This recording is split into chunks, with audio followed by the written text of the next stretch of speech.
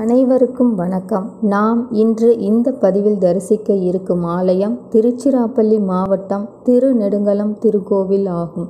இத்திருக்கோயில் திருச்சி தஞ்சை சாலையில் துவாக்குடியிலிருந்து ஐந்து கிலோமீட்டர் தொலைவில் அமைந்துள்ளது.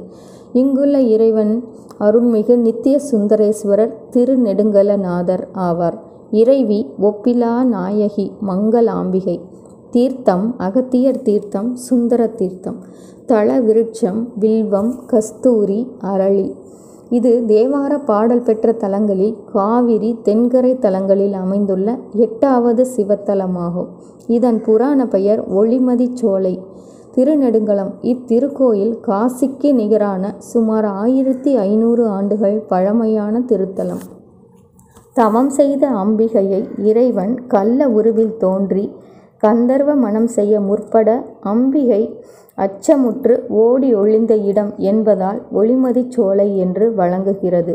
வந்திய சோழன் எனும் மன்னனுக்கு சிவபெருமான் அருள்பாலித்த திருத்தலம். இத்திருத்தலத்தில் முப்பதுக்கும் மேற்பட்ட கல்வெட்டுகள் உள்ளன. இதன் மூலம் ஆதித்த சோழன் உத்தம சோழன் முதலாம் ராஜராஜ சோழன் சுந்தர பாண்டியன் விஜயநகர பேரரசின் மன்னர்கள் படைத்தலைவர்கள் முதலானோர் இத்திருக்கோயிலுக்கு வந்து திருப்பணிகள் செய்துள்ளதை நம்மால் அறிய முடிகிறது.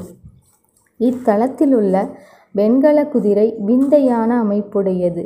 மகா மண்டபத்தில் வைக்கப்பட்டுள்ள சோழர் காலத்திய சிற்ப கல்புரல் சிறந்த வேலைப்பாடுடன் காண்போரை அதிசயிக்கும் வண்ணம் அமைந்துள்ளது மற்றுமொரு சிறப்பாகும். மூலஸ்தானத்தின் மேல் இரு விமானங்கள் உள்ளத. இதன் அர்த்தம் அம்பிகை இங்கு அரூபமாக உள்ளார் என்பதாகும். காசிக்கு அடுத்தபடியாக இந்த அமைப்பு இத்திருக்கோயிலில் மட்டுமே உள்ளதால் இது தென்கையிலாயம் என போற்றப்படுகிறது. மேலும் இத்தலத்தில் தட்சிணாமூர்த்தியின் அமைப்பு அற்புதமான ஒன்றாகும். யோக தட்சிணாமூர்த்தி என்றழைக்கப்படும் இவரின் அமைப்பு சித்தாசனத்தில் அமர்ந்து மேற்கரங்களில் மான் மழுவும் கீழ்கரங்களில் சின்முத்திரையும் திருநீற்று பெட்டகமும் ஏந்தி இடக்காலை சுற்றியவாறு யோக பட்டம் விளங்க காட்சி தருவது மற்றுமொரு சிறப்பம்சமாகும்.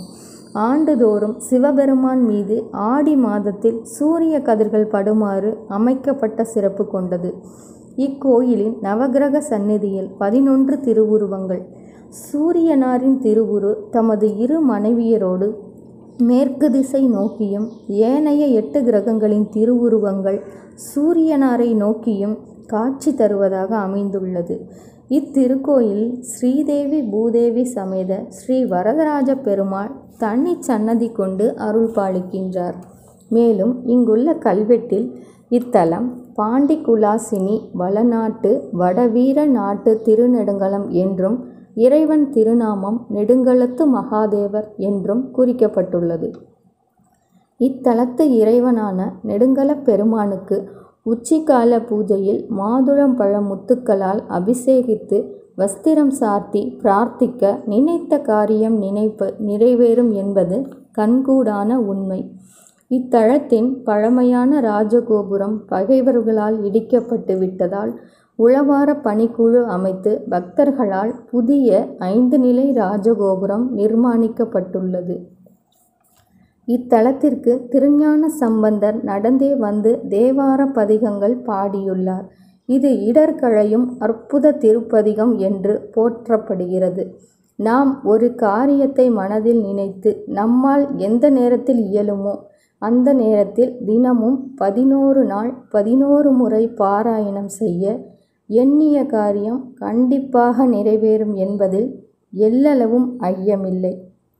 அந்த பாடல் மறையுடையாய் தோளுடையாய் வார்சடை மேல் வளரும் பிறையுடையாய் பிஞ்சகனே என்று உனை பேசி நல்லால் குறையுடையார் குற்றம் ஓராய் கொள்கையினால் உயர்ந்த நிறையுடையார் இடர்களையாய் நெடுங்கலம் மேயவனே. இது பதினோரு பாடல்களையும் கொண்டது. இந்த பதிகத்தை நாம் மனமுருகி பிரார்த்திக்க எண்ணிய காரியம் நிறைவேறும் என்பது திண்ணம். இத் இல்லத்தில் இருந்தபடி நெடுங்களப் பெருமானை உளமாற தரிசித்திருப்பீர்கள் என்று நம்புகிறோம்.